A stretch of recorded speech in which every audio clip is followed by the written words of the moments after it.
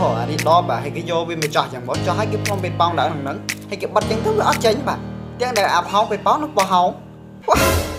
អូខេឥឡូវយើងនិយាយធ្វើវាដល់គ្នាអូខេយើងមានតបអូខេបន្តមកទៀតគឺយើងមានពេលប៉ោងការឈូកមានពណ៌សហើយ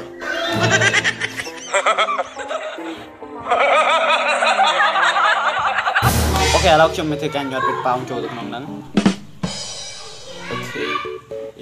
OK បើតែខ្ញុំសូមប្រាប់បងប្អូនអរគ្នាថាបើសិនជាយើងញាត់អានេះហើយយើងអត់តន់ចោះណាអត់តន់ចោះខ្ញុំចោះហើយនេះបាទប៉ុន្តែបើសិនជាយើងអត់តន់ចោះ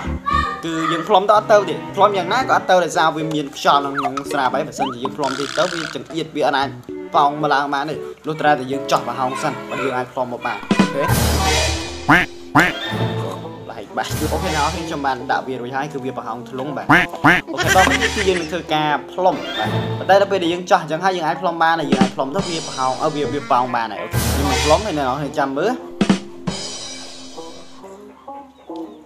អូខេអូខេខ្ញុំបិទតានេះខ្ញុំបិទតានេះដើម្បី surprise បងប្អូនអរគ្នាថាវាបាន surprise ឬក៏មិន surprise អូខេអ្នកនរគ្នាចាំរាប់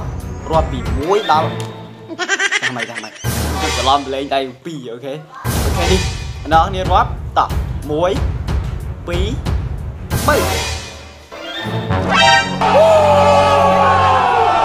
អូយដល់នេះនេះប្រហោងមែនបាទវ៉ាវនេះគេជំនាញពេលដែលខ្ញុំបលែង Oh my god